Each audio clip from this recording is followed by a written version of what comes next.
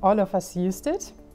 Sometimes we don't know even that uh, we use Timatic in the background, but in general it's actually a database with uh, travel regulations requirements which we provide especially to airlines who can implement it, say, in their check-in um, solutions like online kiosk or websites. And so when passengers do the online check-in, their passport information like uh, personal information and the itinerary details are matched and then Timatic will display a response if a passenger is okay to go, not okay to go.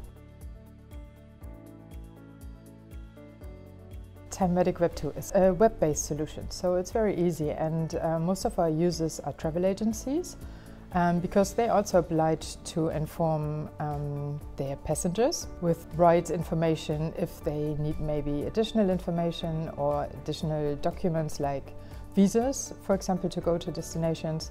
So it's easy to access, you don't need to have any extra IT configurations in the background. It's a website, you can also integrate that on your website. You can integrate it in your back office operations. So it's a very easy um, module and I would say also easy to use in terms of the reasons we've got drop-down lists so you don't need to know all the three letter airport codes. You can select by countries if you want like regulations on a country base. Um, yeah, and I think not only travel agents using it, also other international companies who need um, travel requirement information for their employees.